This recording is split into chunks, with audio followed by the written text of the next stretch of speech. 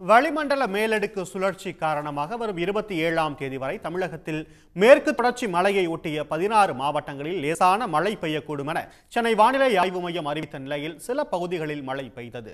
ராணிப்பேட்டை மாவட்டம் ஜோளிங்கர் சுற்றுவட்டார பகுதிகளில் கடந்த சில நாட்களாகவே வெயிலின் தாக்கம் கடுமையாக இருந்த நிலையில் நேற்று மாலை திடீரென கருமை பூசிய மேகங்கள் சோளிங்கர் கொண்டப்பாளையம் காலப்பட்டு சோமசமுத்திரம் பாண்டியநல்லூர் உள்ளிட்ட பகுதிகளில் சுமார் அரை மணி நேரம் மழை பெய்தது.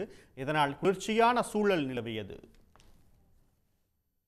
நாமக்கல் மாவட்டம் ராசிபுரத்தில் சில நாட்களாக வெயில் வாட்டிய நிலையில் நேற்று மாலை வேளையில் குளிர்ந்த காற்றுடன் சுமார் ஒரு மணி நேரத்திற்கு கனமழை பெய்தது.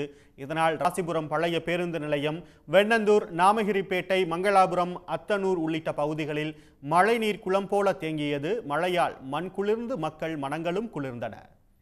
போடி மற்றும் சுற்றுவட்டார பகுதிகளில் நேற்று பெய்த திடீர் மழையால் வெப்பமான சூழல் தணிந்து குளிர்ச்சி நிலவியது. இதனால் பொதுமக்களும் விவசாயிகளும் பெரும் மகிழ்ச்சி அடைந்தனர்